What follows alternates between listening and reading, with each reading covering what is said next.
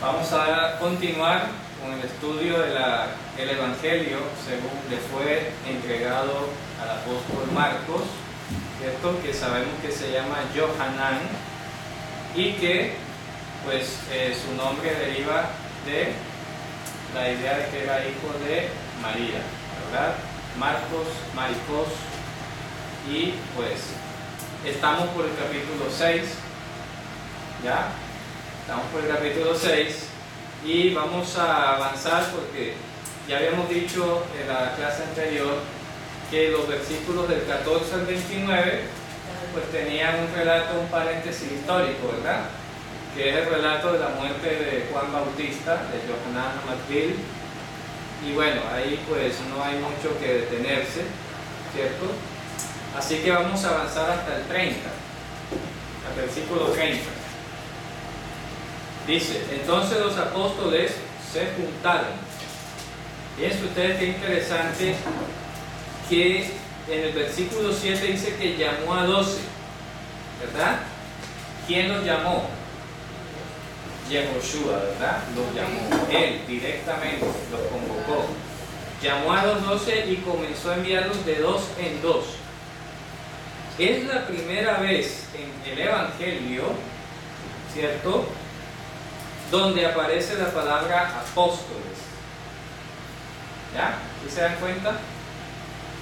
Y fíjense ustedes que en el versículo 29 hay una diferencia porque habla de los discípulos de Juan. Dice, entonces cuando oyeron estos sus discípulos vinieron y tomaron su cuerpo y lo pusieron en un sepulcro. Entonces aquí donde empieza por primera vez el uso de la palabra apóstol. Vamos a aprender qué es un apóstol. ¿Ya? Marcos en el 6.30. Estamos en el 6.30. Entonces, en griego se usó la palabra apóstolos, ¿cierto? Se pronuncia así, apóstolos, apóstolos, pronuncian algunos. Y pues traducen normalmente como enviado. Pero resulta que en el idioma griego clásico, en griego normal, la palabra apóstolos era el almirante de una tropa marina. Era un almirante de una tropa marina, ese era el apóstol. ¿Ya? Pero ¿qué pasa? Que esa, esta idea fue lo más cercano que se encontró en griego para traducir al hebreo shalia Shaliach, que es un término muy específico, se pronuncia así, Shaliach, y el plural no es, y con esto miro la cámara, el plural no es Shaliahim, como algunos han pronunciado, eso no es correcto. El plural simplemente es Shlihim, plural Shlihim todavía hay algunos hermanos pues, que de pronto no, se documentan bien, no se documentan bien, y deducen, ah, es que Shalia, entonces plural Shaliahim, no, Shlihim, Shlihim, ¿ah? Shlihim, ese es el plural, Shlihim, ¿ya? Shlihim, no Shaliahim, no es correcto, correcto Shlihim. Muy bien, ¿qué era Shalia? Bueno, sí, cualquiera dice, sí, viene de la raíz shalach, que es enviar.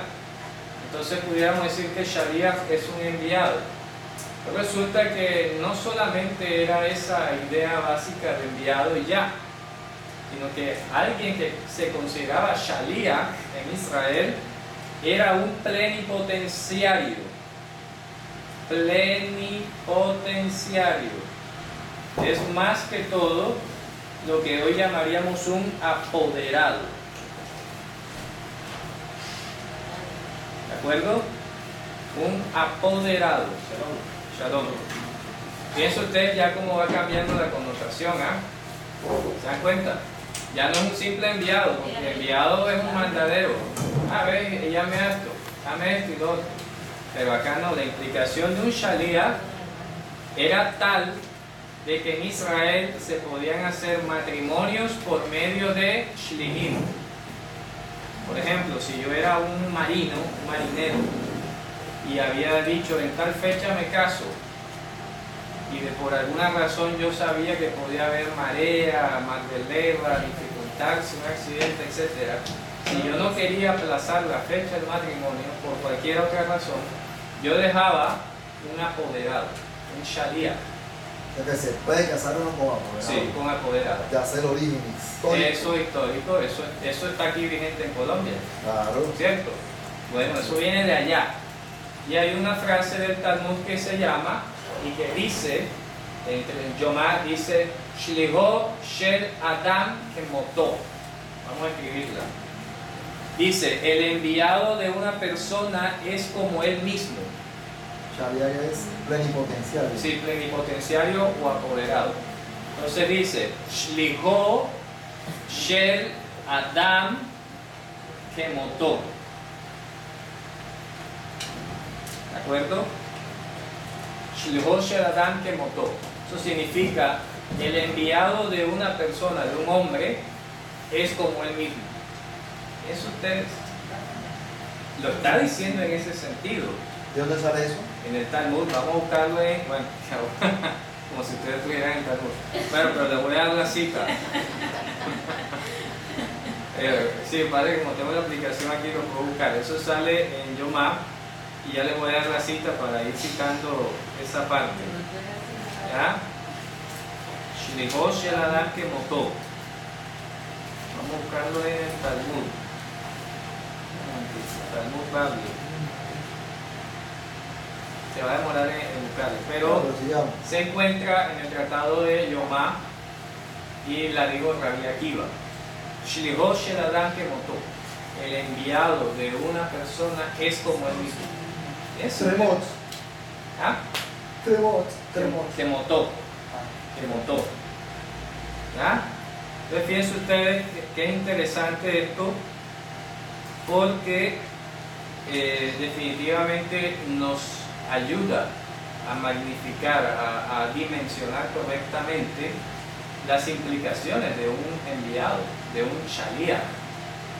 Tenía que ser alguien que había recibido del propio Jesús un poder. Usted me va a representar, lo que usted haga como si lo hiciera yo. A mí es ustedes.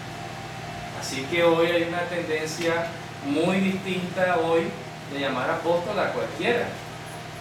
¿Ya? Y resulta que, bueno, la pregunta que haría, bueno, ¿y usted quién lo envió? No, que Jesús. ¿Y dónde está la prueba de eso? ¿Ah? Porque este apóstol aquí, esta palabra shalía, está en sentido pasivo. Es voz pasiva en hebreo, siempre enviado, es decir, ¿quién lo envía? Enviado por alguien. Entonces hoy acá han hecho de apóstol simplemente como un grado mayor o un, un cargo de mayor autoridad y no dan ra- razón alguna acerca de- del origen y el uso de eso. De repente en la historia comenzaron a hablar de, de, de apóstoles, apóstoles y, ay, ¿de dónde? ¿Con qué autoridad? Fíjense ustedes. Y por eso fíjense ustedes, Como hay, hay ministerios de apóstoles. el apóstol, pero es que apóstoles estos, los que Jesús envió, al que él personalmente, mira lo que dice el 7, él llamó a los 12, en el 6-7, ¿ya? Fíjense ustedes que Pablo fue apóstol de Joshua y se le tuvo que aparecer en persona, ¿ya? ¿Te das cuenta? No ¿Ah? No visión. O sea, tuvo un encuentro personal allí. No fue visión como que tuvo una visión o algo, fue una, una aparición. ¿Ya? ¿Sí me explico? No, no, no se correspondería con lo que dice que la segunda venida tiene que ser real. No, no. O sea, evidentemente fue. Lo que pasa es que quiero diferenciar entre una visión que él haya tenido en su mente y otra cosa es que le hay como, como, como Esteban. ¿Ya?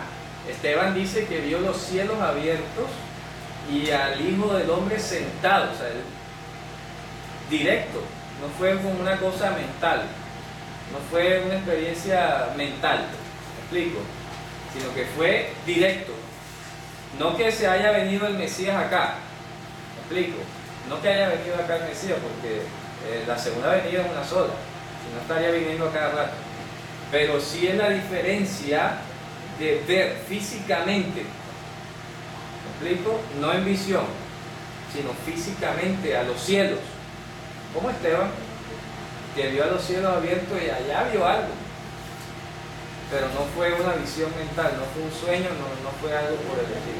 Esa es la diferencia. ¿Ya? Entonces fíjense ustedes, aquí nuestro Señor dijo, este, créanle al que me envió. ¿Ya? Si no me creen a mí, créanle al que me envió. Yo no, lo que yo hablo no lo hablo por mí, sino por el que me envió. ¿Ya? Y entonces, ¿qué ocurre? La pregunta sería, ah, pero entonces hay dos, porque uno fue el que lo envió, ¿verdad? Y esa no es la lógica. Ahí el punto de inflexión donde la reforma se tuerce. Correcto. Ahí viene el punto donde, donde coge otro rumbo, Correcto. otro camino. ¿Cómo explicamos eso? Fíjense ustedes que en el Salmo dice, he aquí vengo para hacer tu voluntad conforme está escrito en el rollo acerca de mí. El rollo. Cuando usted va a Apocalipsis, en el capítulo 4 y 5, dice que hay un cordero que tomó el rollo de la mano del que estaba sentado en el trono. Resulta que era el mismo. Pero ¿cómo es eso? Claro, porque una cosa es lo que él dejó escrito en el rollo y el rollo es el que lo vincula a él. ¿Ya? El rollo es el que lo vincula y lo obliga a él. Lo que quedó escrito. Entonces no es que haya otra persona que lo haya enviado a él acá, sino es su palabra la que lo está obligando. ¿Ya me? Es su palabra. Entonces por eso dice, el que no me cree a mí, o sea, ahí tienen a Moisés. Porque en la parábola de Rico y Lázaro, por ejemplo, el, el rico le dice, Señor, pero entonces manda a alguien que le predique a mi familia y dice, a Moisés y a los profetas tiene. ¿Ya? Entonces Jesús cuando dice, si no me crean a mí, créanme al que, al que, me envió. ¿Quién lo envió a él? Moisés y los profetas. ¿Me explico? Los rollos. Moisés y los profetas son los que me envían a mí. La palabra. ¿Ya? Créanme al que me envió, es decir, al rollo. Conforme el rollo está escrito sobre mí. Y vamos a leer ese salmo porque quiero aprovechar. Créanme al que me envió. Claro. No es una segunda No persona. es una segunda persona, es el rollo. ¿Ya? Mi padre y yo. Ah, entonces son dos personas, mi padre y Claro, él. claro. Resulta que ya hemos hablado aquí que padre que era. Abba. ¿Ya? La sabiduría. La sabiduría. La sabiduría Dios, insondable. ¿Ya? Que la Torah es apenas la manifestación visual y física de la sabiduría que se llama Abba. ¿De acuerdo?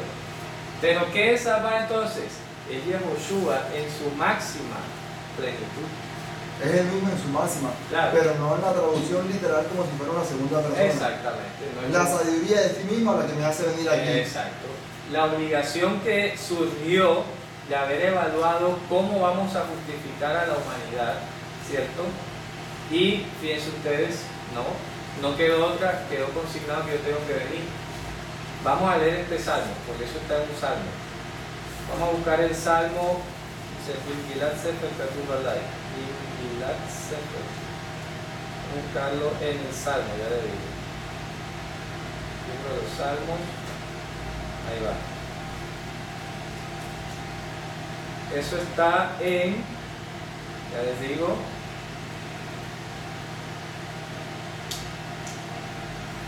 perdón, Invilar Sefer Katuv Alay. No, con Katuv, sale más rápido. El salmo. Vamos a buscarlo en Ya les digo. Ay, no, gracias. Es el Salmo 49, creo que es. Vamos a buscarlo mientras que aparece, pues está como, está como buscando en toda la Biblia. Dice, "He aquí vengo a hacer tu voluntad.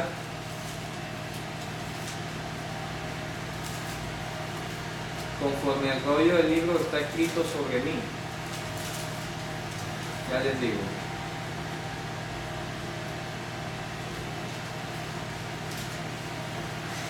¿Tienen ahí el salmo? 49. ¿Sí? Sí. Vamos a buscar ahí, creo que es el 49. ¿Dónde dice esto? El 40. 40. ¿Qué dice?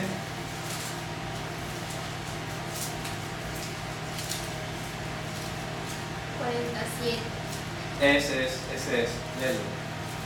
Ni sacrificio ni obligación quería, pero el oído me, ha, me has abierto. No pedías holocausto ni, ni víctimas. Sigue. Dije entonces, heme aquí que vengo, se me ha prescrito en el rollo del libro. Claro, conforme está escrito sobre mí. ¿Cierto? Sí. Sí, el rollo del libro está escrito sobre mí. Bueno, muy bien. Entonces el rollo, el que lo está enviando. Dice, aquí vengo. ¿Ya? Porque, porque va a enviar el rollo si no, sabe- si no pareciera que en el texto es enviado como siempre de una persona, no por algo intangible como sería el rollo. Bueno, fíjate ahí está la obligación, porque mira que él tiene un diálogo cuando ya está viniendo acá, ¿cierto? Dice, sacrificio y ofrendas no, no pediste, ¿ya? Vamos a buscarlo, porque es que ahí hay algo interesantísimo. Fíjense que esa expresión me, me abriste los oídos, Pablo la tradujo como me preparaste cuerpo. ¿Ya? Eso está citado en la carta a los hebreos. Ahora lo vamos a buscar. Pero 10, 5 al 7. Eso, correcto. Vamos a buscarlo. Pareciera que Eric como que fuera como que muy rebuscado para hilar hasta ese punto. Bueno, ahora vas a ver. Vamos a leerlo en hebreo. Mira lo que dice. En el versículo 7, o debe ser el 6 en español, ¿El dice. hebreo o el salmo? En Salmos. Salmo 40 del 7 o, o el El 6. 6. Seis. Dice, sacrificio y ofrenda vegetal, minja, no te complacía. Ojo, no te complacía. ¿Quién está hablando ahí? ¿Ah? Mira lo que sigue diciendo. Los oídos abriste para mí. Holocausto y ofrenda por el pecado no pedías. ¿Ya? ¿Quién está hablando ahí con quién? ¿Ya ves? Después dice, entonces yo dije, he aquí, vine, ¿cierto? Con el rollo del texto escrito sobre mí, para hacer tu voluntad, oh Dios mío, es mi complacencia, y tu Torah está en medio de mis entrañas. ¿Ya? Oído de mi corazón. No, mis entrañas. Ahí no dice corazón. En medio de mis entrañas. De me hay. No dice lev, que es corazón. Dice betoratja me hay. Repite despacio. ¿Ya? Dice, vamos a leerlo. Entonces dije, he aquí vine. ¿Ya? He aquí vine. En el rollo del texto está escrito sobre mí. ¿Ya? Repito, he aquí vine, ahí se acaba la idea, punto y coma. He aquí vine, punto y coma. Porque ahora en pasado. Aquí está en pasado. ¿Ya? He aquí vine, punto y coma. Con, eh, en el rollo del libro está escrito sobre mí. Para hacer tu voluntad, Dios mío, me ha complacido. Y tu Torah está en medio de mis entrañas. ¿Ya? Fíjense qué interesante ese salmo. Y miren lo que dice a continuación. Yo anuncié la justicia en la gran asamblea. He aquí mis labios, no conteneré a Adonai, tú lo sabes. ¿Ya? ¿Te das cuenta? Pero los verbos están en pasado, ¿por qué? Está en pasado, pero se puede leer en futuro. Y si al futuro serían Entonces vamos a leerlo en futuro, mire cómo dice. Sacrificio y ofrenda vegetal no te complacían. Los oídos me abrirás, o abrirás para mí. Sacrificio ofrenda por el pecado no pedirás. Entonces yo diré, he aquí vendré en el rollo del texto, está escrito sobre mí, Para hacer tu voluntad, Dios mío, estaré complacido y tu Torah estará en medio de mis entrañas. Yo anunciaré la justicia en la gran asamblea. He aquí mis labios, no cerraré. Adonai, tú lo sabrás. Eso sería leyendo del futuro. ¿Qué estamos viendo? Es el rollo donde dice que está escrito sobre él con el que dice vengo. ¿Ya? En el rollo está escrito sobre mí. La pregunta es, ¿quién escribió el rollo? ¿Mm? Obviamente, entonces, ¿quién inspiró a los profetas y a Moisés? Hashem. ¿Ya? Entonces, Él los inspira, ellos escriben y Él viene conforme a quedó escrito, porque él fue el que lo inspiró. Entonces, Él se comprometió. Fíjense que en Hebreos capítulo 7 dice que Dios, presta atención a esto, Dios, no teniendo otro mayor por quien jurar, juró por sí mismo. ¿Ya? De que había de venirle a cumplir a Abraham. Entonces, ¿quién vino a salvarnos? Él mismo. porque Él mismo. No había otro por quien jurar. Y no podía jurar por uno menor que él. ¿Ya? Entonces, él deja una carta escrita y dice, bueno, tengan ahí, tengan ahí, que si no voy ustedes me reclaman. ¿Me explico? Ahí le va, miren, esto, le voy a hacer esto, le voy a dar lo otro, les prometo esto y lo otro. Y lo juro por mí mismo, porque no hay otro mayor que yo, que yo voy a hacer eso. ¿Ya? Y si no voy, me reclaman. Ahí está la prueba. Porque esto no es de palabras solamente. ¿Ya? Esto no es de palabras. Esto es que yo dejo un testimonio. ¿Cómo se le llamó a las tablas? Las tablas del testimonio. El arca del testimonio. La tienda del testimonio. ¿Ya? Y es ustedes. Entonces, no me crean a mí. Vamos a leer ese versículo que está en el Evangelio. No me crean a mí, créanle al que me envió. Hebreos 7, ¿qué? ¿Cómo? Hebreos 7, Sí, ya le digo ahora. Vamos a buscar el versículo para que vean ese verso. Cuando dice que Dios le prometió a Abraham y no teniendo otro mayor por quien jurar, juró por sí mismo. Entonces, para rezar el Salmo 40 en esos versos es, ¿por qué lo leíste en pasado? También se puede leer en futuro. Sí, porque así es la- el hebreo bíblico tiene esa particularidad Y el Shabbat pasado leímos siempre una cosa en futuro. en futuro. Claro, es que se puede leer. El problema es que usted lo sepa encajar con el relato bíblico, con la historia, con todo. Es que tiene que ser coherente. Si no es coherente, no tiene sentido. Por ejemplo, ese, ese salmo que acabamos de leer, lo podemos leer en pasado hoy, porque ya es vino. Pero en su momento histórico. En su momento histórico se tenía que leer en futuro, Ah, ahora sí. ya. Entonces están originales en futuro. No, la, la gramática gramaticalmente está en futuro, el, el pasado. El problema es que el acento en hebreo, ¿cómo lees? Por ejemplo, ahí cuando dice ine bati, Y Nebati. cualquiera lee en pasado, de aquí yo vine, Así es. bati. Pero si tú dices, en vez de bati, dices batí, ya es futuro. Ine bati.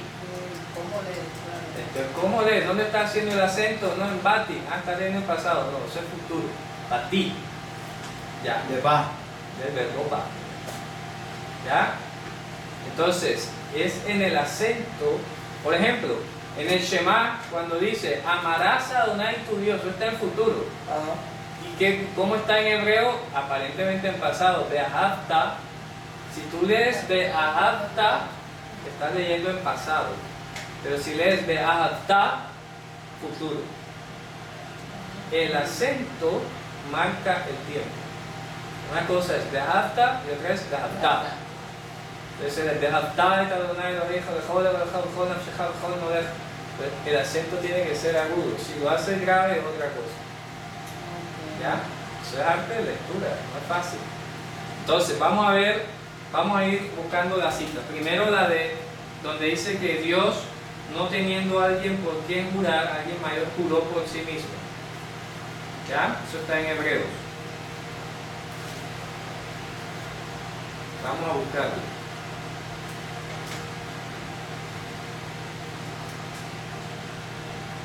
Muy bien. Eso sale en Hebreos 6.13. Hebreos 6.13, vamos a leerlo. ¿Cómo dice?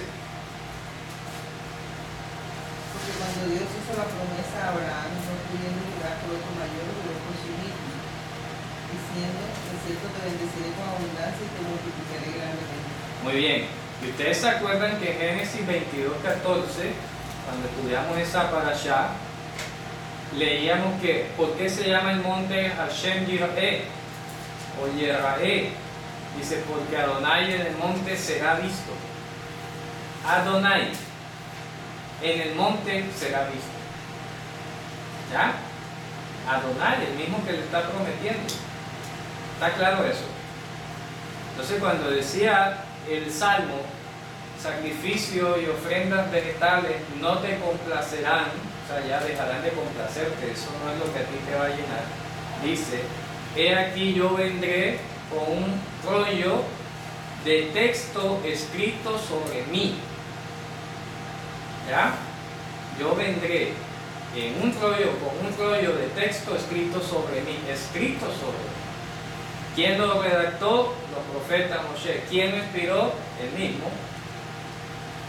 ¿Ya? Repito, aquella cita de Zacarías. Mirarán a mí al que traspasaron. Eso es contundente. ¿Quién inspiró a los profetas? Hashem. Si no lo inspiró Hashem, no lo inspiró nadie. Pero entonces él mismo dice, he aquí vengo con el rollo escrito sobre mí. Entonces cuando él dice, Dios mío, en el Salmo, vamos a leerlo, Como si se refiriera a otra persona. a otra persona, bien ustedes, muy bien. Él, él dice, entonces aquí en el versículo, en el 8, dice, el hacer tu voluntad, Dios mío. ¿Saben qué significa? El hacer tu voluntad en mi condición de Dios. Dios mío no es que Dios le pertenezca a él. ¿Ya? Es como cuando aquí explicábamos, por ejemplo, lo de tu fe te ha salvado. Entonces, si usted lee eso así en español, tu fe te ha salvado, ah, facilito la fe de la persona. Claro. Tu fe te ha salvado. ¿Ya? Entonces, ah, no, es que ahí dice tu fe, es la fe de la persona. No, así no es en hebreo. Cuando dice tu fe, en hebreo dice emunatha, se tiene que leer es la fidelidad para contigo, Sobre ti. la fidelidad sobre ti. O sea que es por él. Entonces-. Por la fidelidad de ti. Claro. Pero como si fuera. la manifestada a través de ti. ¿Ya? Entonces aquí cuando dice hacer tu voluntad, Dios mío, no está diciendo que allá hay uno que es el Dios mío como tal, o posesivo mío, o alguien a quien yo le rinda culto, sino más bien Dios manifestado a través de mí. ¿Me explico? Si está claro el parangón. Si yo digo mi fe, si digo mi fe, no estoy diciendo que la fe sea mía, al menos en hebreo no, sino la fidelidad de Dios para conmigo, a través de mí. ¿Está claro eso? O sea, la fe no arrebata ningún milagro. Exactamente. Nada. O, o sea, la tuya. Ajá, la humana. La, La, humana la no. de Dios sí. La de Dios sí. Entonces cuando digo para hacer tu voluntad, Dios mío, estoy diciendo es Dios a través De mí. ¿Está claro? El hacer tu voluntad, Dios a través de mí. O sea, otra vez. Si yo soy Dios, Ajá. Pero como Él viene acá, ¿qué? En forma de siervo. ¿Ya? ¿Está claro eso? Yo creo que no está claro, ¿ah? Dios. Vamos a explicar. Dios mío. De mí. Dios a través de mí. Vamos por ahí. ¿Ya? El hacer tu voluntad, Dios a través de mí. Salmo. ¿Cuál es el salmo? Salmo 40, versículo 8. Aquí está. ¿Ya? Sí. ¿Ya?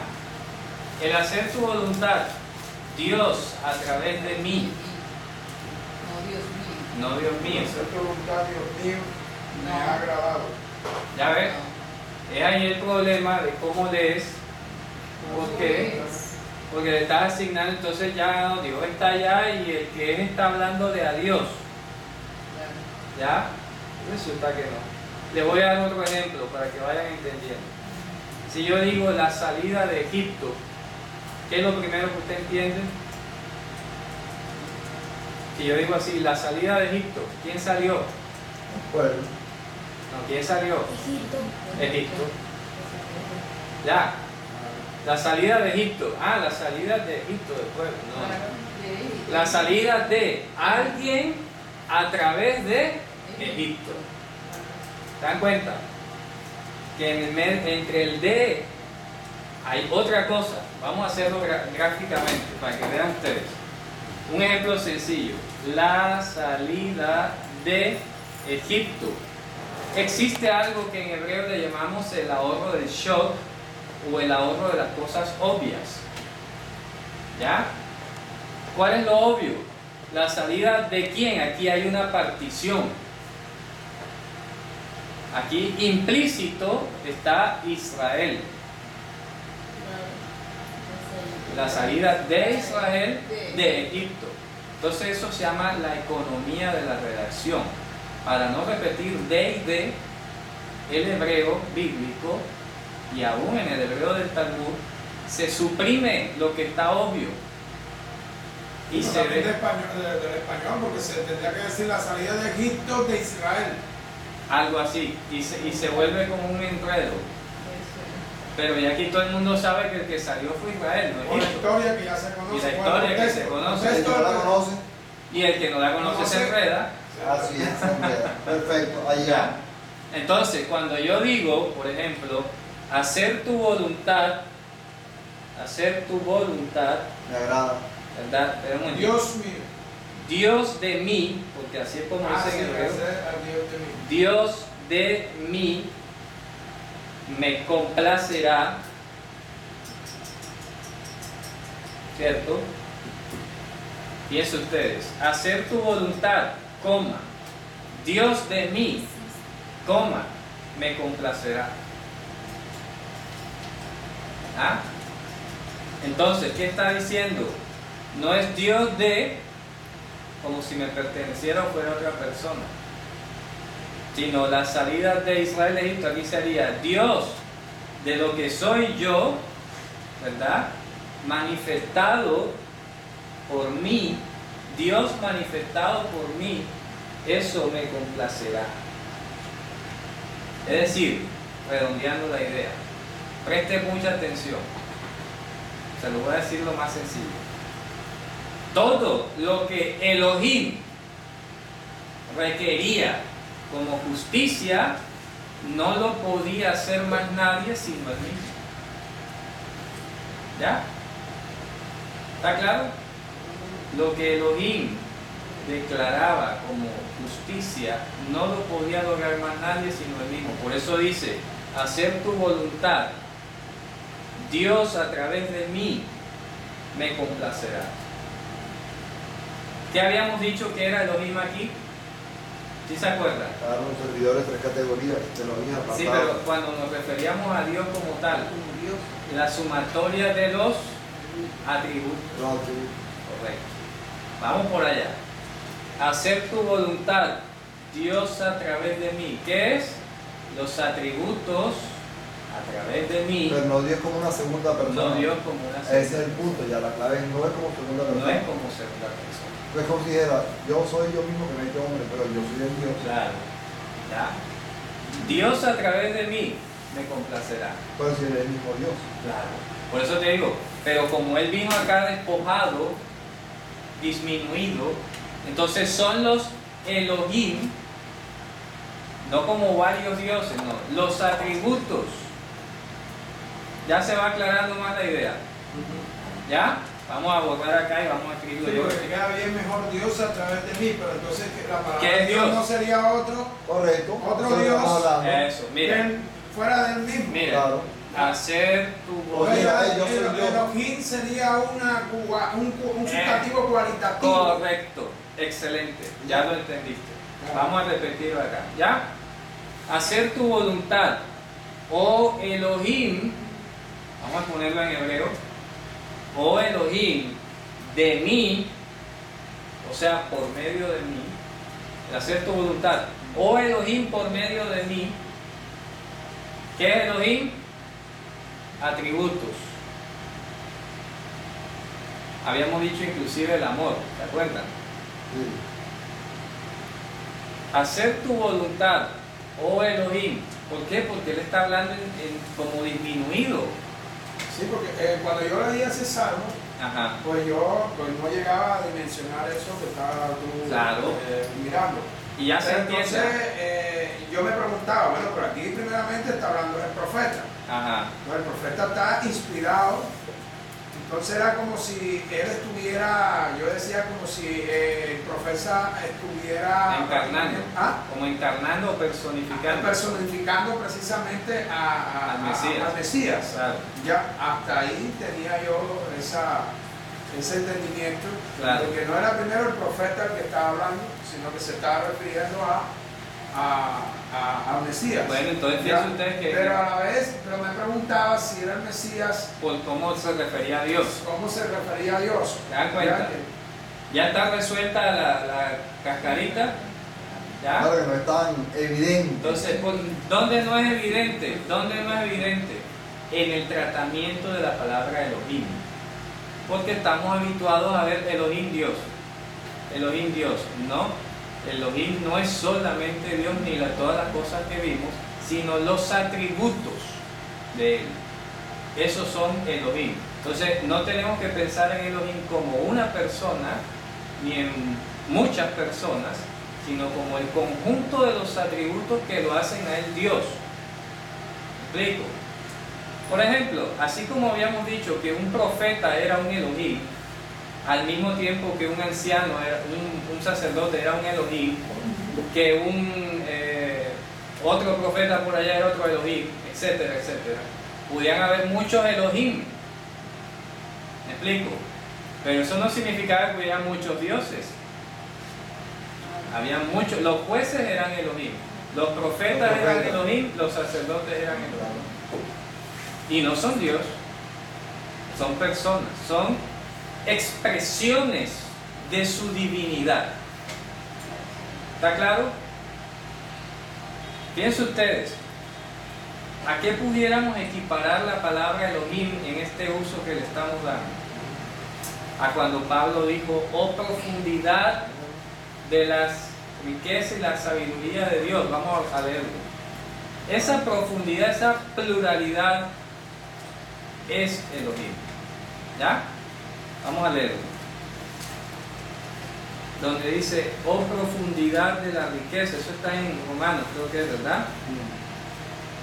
Donde dice, oh profundidad,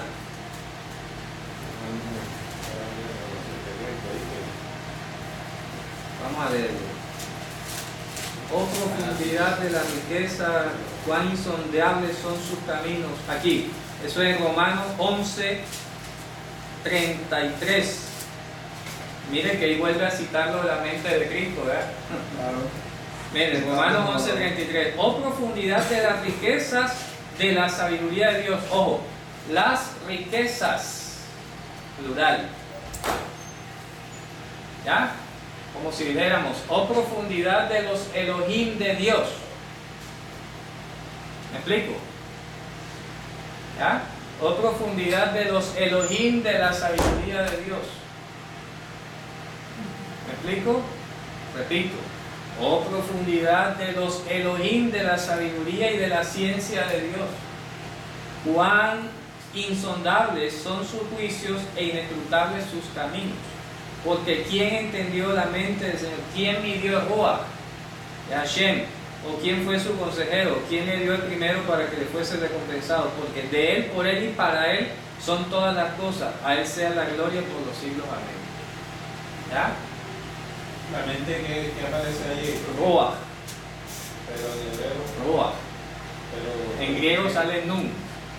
Nus, Luz, es lo que traduce el... claro. Pero en hebreo dice Ruach, pues está citando Isaías 40. ¿Ya? Fíjense ustedes, hacer tu voluntad, oh Elohim, oh profundidad de las riquezas, de la sabiduría de Dios, a través de mí, me complacerá. Fíjense ustedes, ¿ah? no es fácil leerlo. Aquí usted lee plano, hacer tu voluntad, Dios mío, pero la implicación teológica es profunda. No es leerlo así de plano. Es cambiar todo el sentido de la creencia, todo. todo. El chip, todo el chip hay que cambiarlo. Todo el chip hay que cambiarlo.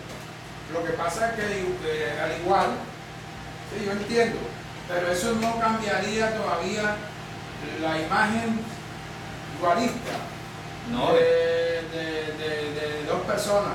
Claro, sí la Porque- cambia. Porque dice, mo- hacer tu voluntad o, eh, o riquezas. o riqueza de la sabiduría de. Dios, por decirlo así, Ajá. de mí, No, a través de mí. ah, o a través, por eso, a través de mí ya sería otro. No. ¿Por qué? Repito.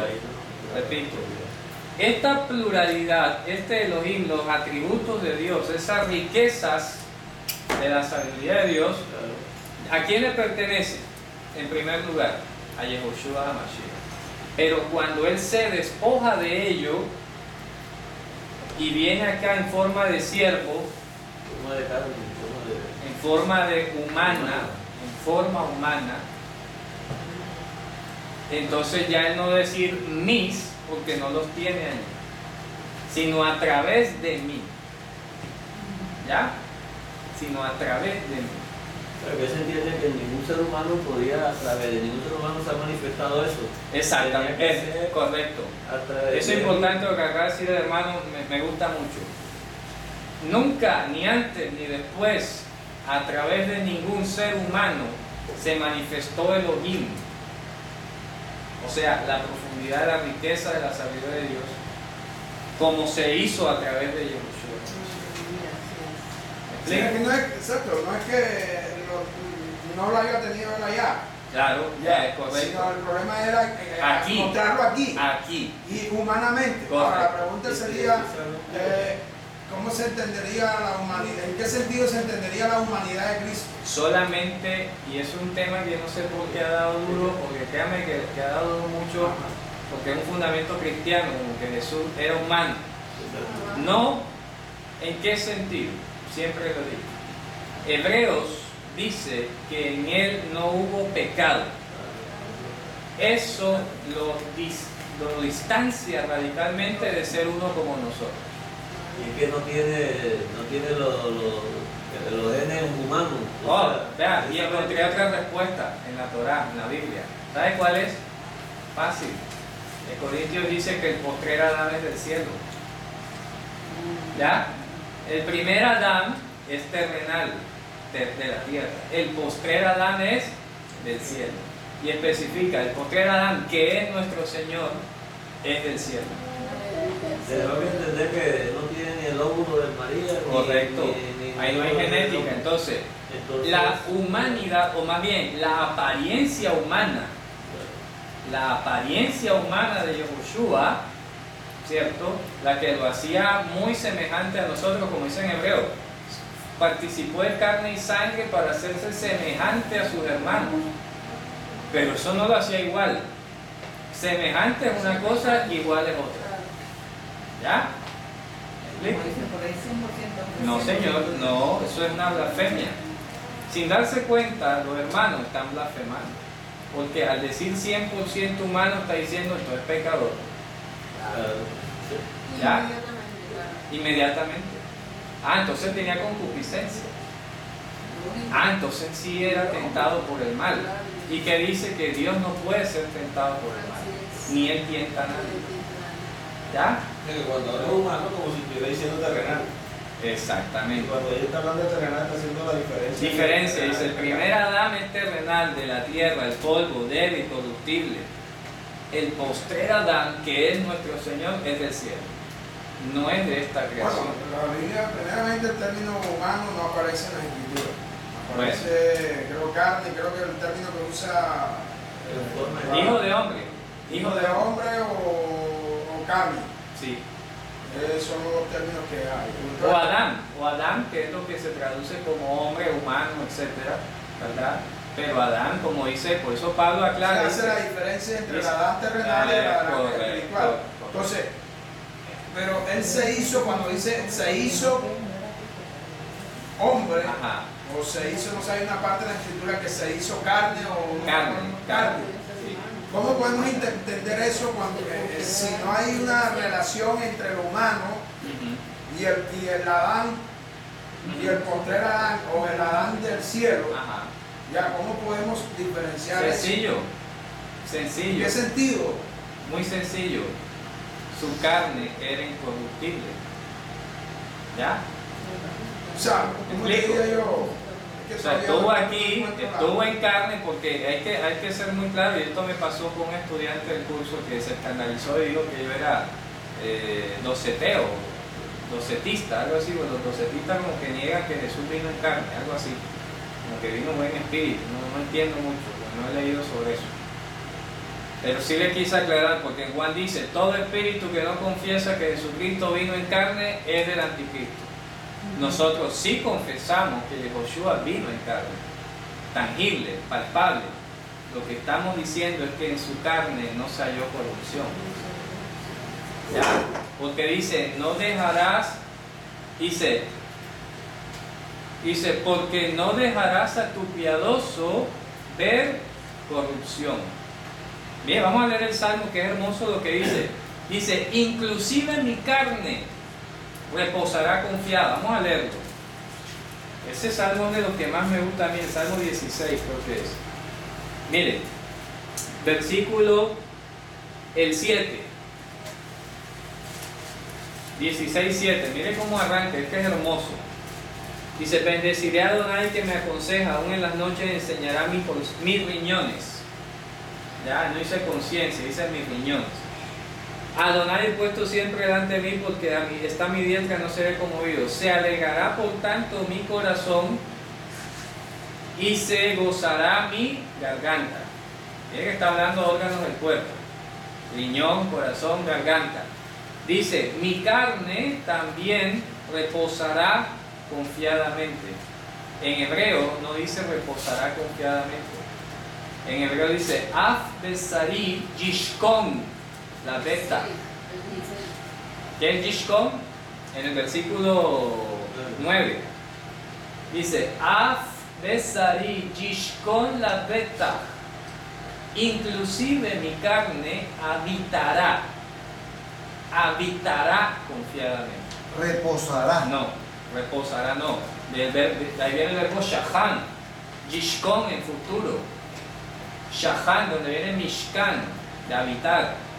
Dice, "Af besha- af besari yishkon la beta. Inclusive mi carne habitará, hará tabernáculo. ¿Ya? Hará Mishkan confiadamente. ¿Qué significa confiadamente? Que nada lo va a amenazar, Ah, lo perturba. nada lo perturba. Ah, anda libre. ¿Y qué dice? ¿Por qué confiadamente? Porque no dejarás mi garganta en el Sheol y no permitirás que tu piadoso vea corrupción. ¿Te das cuenta? Entonces, Yehoshua vino en carne Pero sin, sin corrupción. Eh, Eso, o sea, eso es importante nosotros definir entonces entre lo, lo humano Claro. o lo terrenal más bien, Claro, lo y lo terrenal espiritual. Y lo espiritual. Es Porque que es que. Yo siempre he dicho y yo siempre una vez me pregunté, bueno, aquí los hermanos hablan mucho de lo espiritual, lo espiritual, lo espiritual, pero ¿qué es lo espiritual? ¿Será que lo espiritual es algo intangible? O es tangible. Porque regularmente todas las, las personas, los cristianos, tienen lo espiritual como algo intangible Claro. que no se ve, etc. Ah, ¿Ya me explico? co- correcto. Pero no necesariamente eso es lo que la escritura dice que es lo espiritual. Exacto. Porque entonces teníamos que decir que nosotros estamos basados en una esperanza que es intangible que no se ve. Exacto. ¿Cómo será Esa eso? la, esa es la pregunta, Orlando, interesante tu pregunta, Ya. porque yo siempre se la hago, pero ¿qué es lo espiritual que la reforma habla? Es que el espiritual habla de lo espiritual y usted tiene que andar en el espíritu. Pero nada, Entonces, la gente no. Miren, en la parasha anterior Usted vimos. tiene que andar en el espíritu. O sea, ¿cómo ando? Me salgo y me desprendo. ¿Qué? Ande en el espíritu, en la Hermano, por la Eso mental que que- tenemos espiritual. Hermano, usted, usted dice ahí, se lo he dicho a Eric 30 veces de distintas maneras y este se ríe. Pero es que yo ya grabo los mensajes y él se ríe, pero se está ¿Sabes riendo. dónde entendí eso? ¿Sabes dónde entendí eso? En Corintios, cuando Pablo habla de los cuerpos celestes Y- ya, y los, eh, los terrenales. ¿Ya me entiendes? Hay cuerpo terrenal Hay cuerpo cuerpo terrenal espiritual. y cuerpo espiritual. Cuando dice espiritual no quiere decir que no existan cuerpos tangibles. Miren, para que usted entienda qué es lo espiritual, ya habíamos hablado de lo que era el espíritu en la parasha anterior, ¿se acuerdan? Que era lo espiritual, lo que era pleno, lo que permanecía, lo que quitaba lo temporal, lo que nos ayudaba, todo eso es lo espiritual. Lo espiritual es Cierto. el espíritu vivifica, El poder de Dios, lo incorruptible, ¿cierto? Lo más glorioso, lo que permanece. Correcto, lo más glorioso. Entonces, miren, vamos a hacer un parangón aquí, ahora que estamos hablando de esto en Corintios, acerca de que la diferencia entre lo terrenal y lo espiritual, es sencillo. Vamos a ver en, en 1 Corintios capítulo 14, el 15, perdón. ¿Ya? Y vamos a hacer la misma tabla que hicimos en la parasha. Hay que hacer el ejercicio de lectura así y, y nos, y nos ayuda muchísimo. Miren, en el 30 15.35 dice, 15.35 dice, pero dirá alguno, ¿cómo resucitarán los muertos? ¿Con qué cuerpo vendrán? Necio, lo que tú siembras no se vivifica si no muere antes. Ojo, ¿ya? Ya aquí empezamos, algo es mortal y otra cosa vive. ¿Ya? Si no muere antes, no, no, no vive después. Entonces dice. Lo que siembras no es el cuerpo que ha de salir, sino el grano desnudo. Entonces esto es lo que se siembra y esto es lo que sale. Esto es 15, 35. grano vestido, grano vestido y acá grano desnudo. ¿Ya? Dice, pero Dios le da el cuerpo como Él quiso y cada semilla su propio cuerpo. Fíjate tú. Entonces una cosa es el cuerpo que da el grano vestido y otra cosa es el cuerpo que da el grano desnudo. ¿Ya? Aquí tiene un cuerpo dado por Dios en esta creación y otra cosa es el otro cuerpo dado por Dios en el mundo venidero, en el día de la resurrección. ¿Y qué sigue diciendo? No toda carne es la misma carne. Eso es claro. Sino que una es la carne de los hombres, otra carne es la de las bestias, otra la de los peces y otra la de las aves. Y hay cuerpos celestiales y cuerpos terrenales. Ahí está. Tienen cuerpo. Mire, terrenal y ¿cuál es la contraparte? Celestial. Celestial. ¿A qué se refiere eso? ¿Ya? Lo importante, ahora. No, no, celestial es el mundo venidero, de cuando la resurrección de los muertos. ¿Ya? Por eso estamos haciendo la tabla. Vamos a seguir. Dice, una es la gloria de los celestiales y otra de los terrenales. Una es la gloria del sol, otra es la, luna, la gloria de la luna, otra es la gloria de la estrella, pues una estrella es diferente a otra en gloria. Así también es la resurrección de los muertos, ahí descansa. ¿Se siembra en qué? En Corrupción, tiene la tabla donde va, y se resucita en Incorrupción. ¿Qué más dice? Se siembra en deshonra. Se resucita en gloria. Se siembra en cuerpo animal, perdón, en debilidad. Miren todas las características de este mundo. Y se resucita en poder, ruach. Pues, eh, se siembra cuerpo animal, o sea, cuerpo físico animal, ¿ya? Resucitará que Vamos a hoy. cuerpo espiritual. Eso ustedes. Así también está escrito, miren que ahí viene lo interesante, así también está escrito, o sea, en esa misma cadena. Fue el primer Adán que Nefesh Haya, o sea, garganta viviente, y el postrer Adán que es Nishmat Hayim. Nishmat Hayim. Esto sale en Génesis. ¿Ya? Dice, más lo espiritual no es primero, sino lo animal, luego lo espiritual. El primer hombre, ¿de dónde es? De la tierra, ¿cierto? Terrenal especifica. El segundo hombre, que es el Señor, ¿de dónde es? Del cielo. El cielo. ¿Ya ven? ¿Te das cuenta? Entonces, esto es lo espiritual, lo que vive, lo que sale el día de la resurrección, el gran desnudo, el cuerpo celestial, es incorruptible, es glorioso, es Ahí no poderoso. pareciera que lo mismo dice cuerpo y cuerpo. Sí, pero estoy especificando de que hay cuerpos. O sea, cada uno tiene un cuerpo, pero este es diferente a este. Lo que, lo que yo trato de recalcar Que es físico, palpable, tienen cuerpo, tangible. tanto el terrenal como el espiritual. Correcto. Sino, ¿cuál es la diferencia? La, la Incorruptibilidad. incorruptibilidad y la corrupción. la gloria, el poder, el que es del cielo. Nada más que, nada más que la diferencia es que este es del cielo, no es de esta tierra, No es de esta tierra, pero no quiere, no, no quiere decir que no sea, no sea tangible. tangible. Entonces, cuando decimos que Yehoshua vino en carne, vino en carne ¿qué? Incorruptible. ¿Por qué? Porque es del cielo. El vino del cielo, ¿o no? ¿O vamos a decir que Jesús vino de la tierra? Jamás. Porque él dice, nadie subió al cielo sino el que descendió del cielo. El hecho, lo que pasa es que la gente. Ah. Ahora, ¿sabes cuál es la, la- la- la- por eso la- eh, se les. No tienen en cuenta eso, es precisamente porque se concentran en que Jesús nació de, la- Eh, de María. Correcto. Entonces, haber nacido de María Ya lo hace humano. ya lo hace humano. No, y fíjense ustedes, eso se lo decía otro hermano. A ver, el grano que se siembra en la tierra no es de tierra, ¿cierto? El grano no es de tierra, el grano está hecho de, de celuloide, de agua y de otras cosas. Usted lo mete en la tierra. El que salga una planta de la tierra, no está saliendo una planta de arena. ¿Me explico? Está saliendo una planta de tomate, de cebolla, etc. Allí también hay genética. Eso es genética, no es planta de tierra, porque para eso el fruto de la planta diera arena. ¿Ya me explico? Sí. No, no tiene nada que ver. Crece en medio de la tierra, pero no es de tierra. Ahí hay un componente genético que es la propiedad. Autónomo. Autónomo, independiente. Independiente. Es correcto. Es la virtud de cuando usted pone en agua un algodón y un grano, Eh, él en sí mismo germina. Germina. ¿Ya? O sea que hay vida en, En- en sí mismo. En sí mismo. Por eso es importante. Por eso es que dice, la vida nos fue manifestada y Claro. vimos su gloria. La vida en sí misma.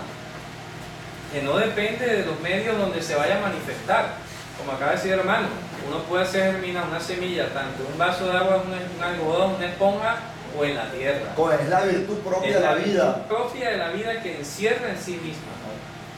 ¿Ya?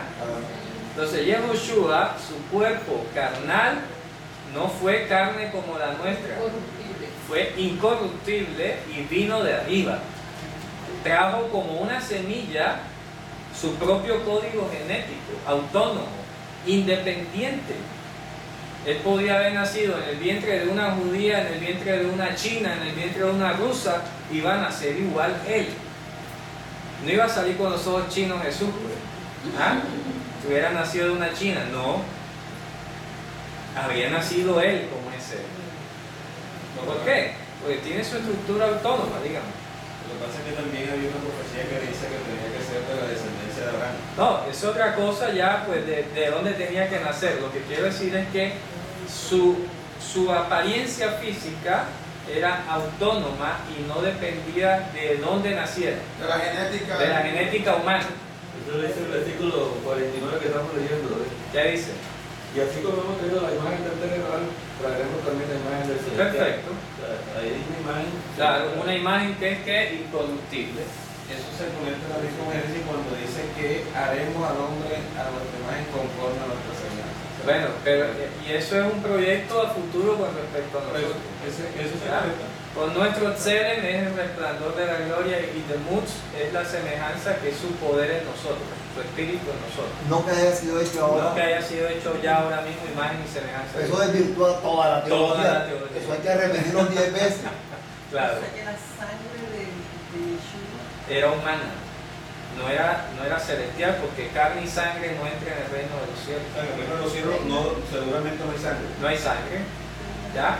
Pero es como un doble sentido porque si no es carne humana, pero esa carne no entra en los cielos, es una carne celestial.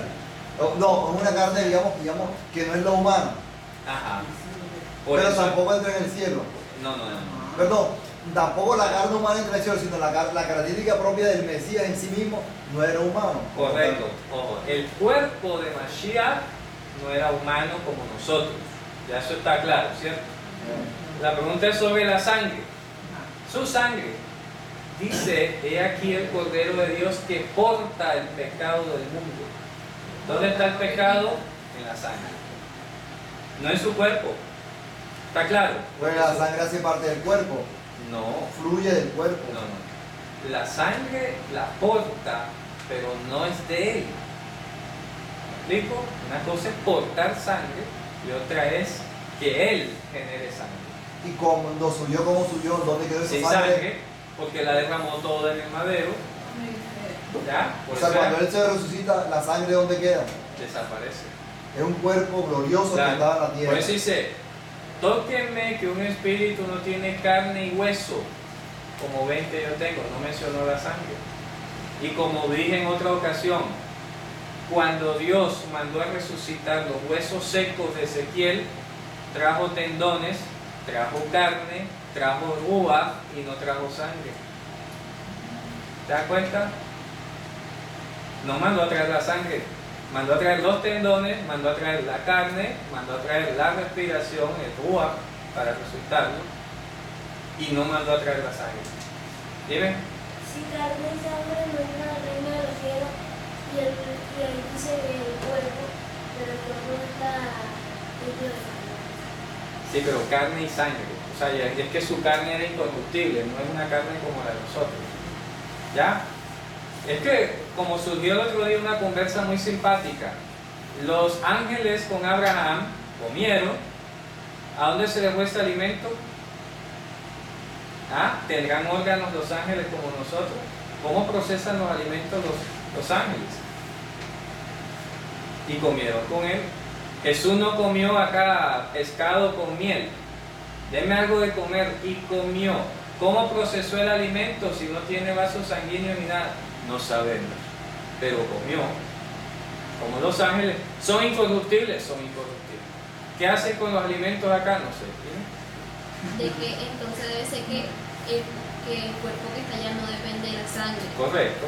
Tal Y cual. donde está la diferencia. Esa es la diferencia. la sangre aquí es vida. Pero allá, allá, Allá no.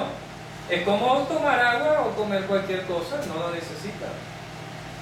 ¿Me explico? Entonces, la sangre era la que él portó, que era el símbolo del pecado. Por eso es que todo sacrificio, su sangre tenía que ser derramada y cubierta con arena. En- Porque Dios no aceptaba sacrificios con sangre. Adán cuando no había pecado No tenía sangre. Ah, La gente piensa que el sacrificio. No, Dios no acepta no sacrificio es con sangre. No, si el sacrificio de la antigüedad lo que implicaba era el derramamiento de la Por sangre. eso, derramamiento. Sí, claro. La Pero el carne, sacrificio en sí mismo no la iba carne que se llevaba al altar iba sin sangre. El sacrificio era sin sangre. Dice, la derramarás al lado del altar, pero lo que tú quemabas en el altar era la carne La sola. grosura. La grosura, la carne, la espaldilla, la espalda, Sin intestino. sin, sin intestino. Él mandaba a sacar, él Claro. seleccionaba. Y no, no, quema lo- eh, eh, los riñones, tal cosa específica. ¿Ya? Pero no había sangre. O sea, el acto era derrama la sangre. Sin sangre. La echarás afuera Sin la derramamiento de sangre no hay No perdón hay de pecado. de pecado. Entonces Sí, el Mesías tenía un cuerpo que estuvo aquí, pero no era el cuerpo humano que entendemos hoy en día. Correcto. ¿Por qué? Porque viene del cielo. ¿Ya? Sí tuvo un cuerpo, tuvo un cuerpo celestial pero que portaba sangre. Que Ahora, la portaba sangre sangre. tuvo que haberla portado en el momento en que. Claro, para que se asimilaba, porque era el prototipo del derramamiento que había en la antigüedad. Correcto, correcto. ¿Ya? Entonces lo que iba al altar era la carne sin la sangre. Claro. ¿Me explico? Dígame, hermano. O sea, para redondear ahorita que te estaba diciendo, cuando dice haremos, está futuro. Ajá. Aquí también en el 49, 15, 49, y así como hemos traído la imagen del terrenal, traeremos también la imagen del celestial. O sea, no la tenemos. No la que tenemos. traeremos. Correcto, eso está en futuro. 1549. Esa es otra prueba que se conecta con los Génesis. ¿Ya ves? Porque hay otro texto que dice que el Mesías es la imagen. Claro. Él sí es la imagen. Del Dios invisible.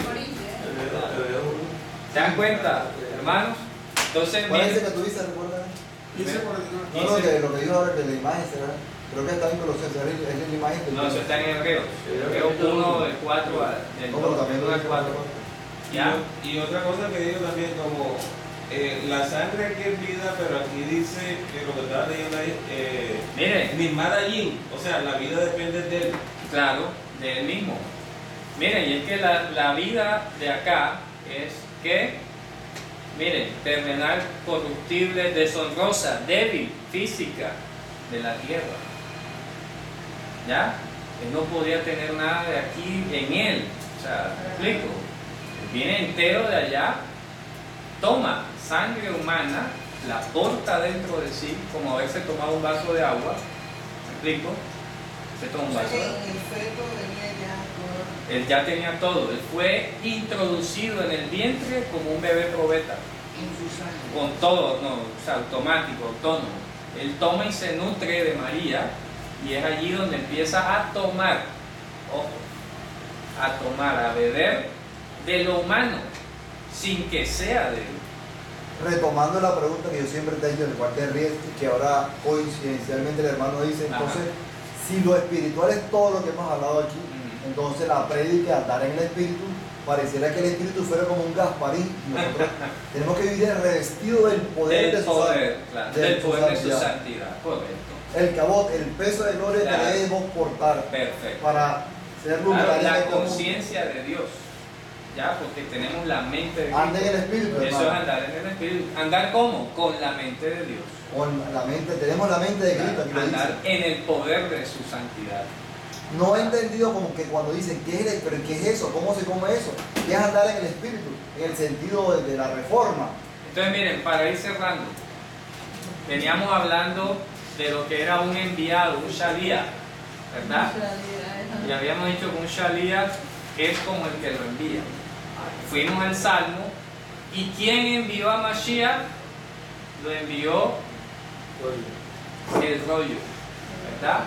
¿Qué dice el rollo?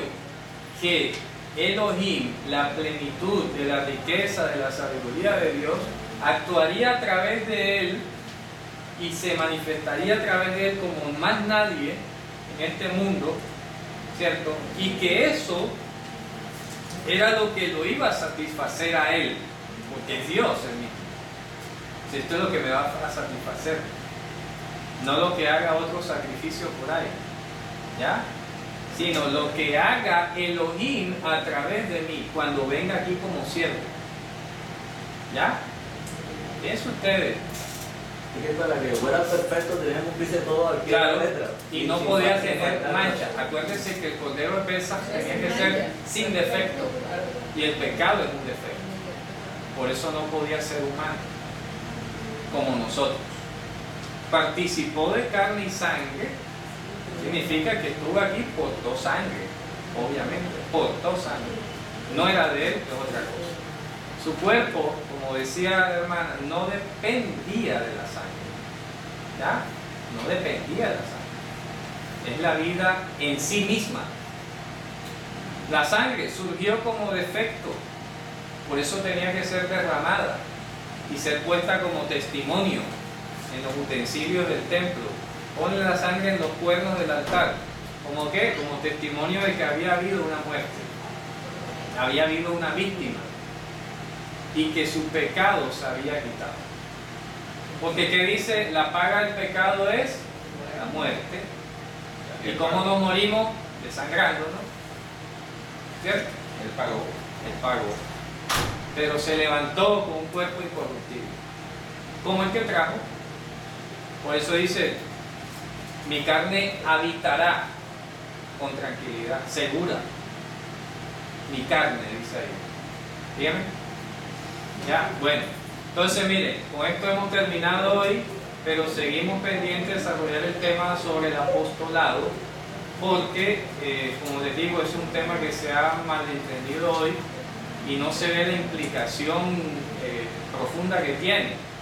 ¿Por qué? Porque hemos dicho, el apóstol bíblico es un apoderado directo de Dios, O sea que hoy en día el término no debe usarse. no debe usarse. Conclusión. Entonces, entonces de los ministerios de enseñanza que aparecen de apostolado. No, son enseñanzas así, pero apostolado desde aquel entonces. Otra cosa es, bueno, es importante lo que acabo de decir. Por eso yo decía ahorita, cuando alguien diga que es apóstol, hay que preguntarle, ¿de quién? De Shira. No. Si alguien quiere decir que es de Dios, hay que decir, ¿y, y dónde está la prueba de eso? Ahí el testimonio de mi vida. Ah, no, sí, ah, entonces yo soy un enviado también y Todos cualquiera, somos enviados. todos somos entonces, enviados. La línea, entonces todos Ya. somos enviados. Entonces todos somos enviados. Así es. Todos somos Todos estamos llamados a predicar y a proclamar, todos somos apóstoles. ¿Cómo te parece? ¿Ya? Y resulta que aquí estamos hablando, la implicación grave es que si yo digo que soy apóstol de Jesús, lo que yo diga es como si Dios lo dijera. Y eso es tremendo. Eso es peligroso. Y en aquel momento entonces, En aquel momento era así. Lo que Pablo dijo quedó escrito. dice se Pablo y siervo, dice. Claro. ¿Y por qué se llama? apóstol. ¿Por qué se llama entonces apóstol? porque lo envió el propio Jesús, se le apareció. Y él dijo, yo lo recibí el Evangelio no de hombres ni por hombres, sino de Dios, directamente. Entonces solamente fueron apóstoles Pablo y los doce. Exacto.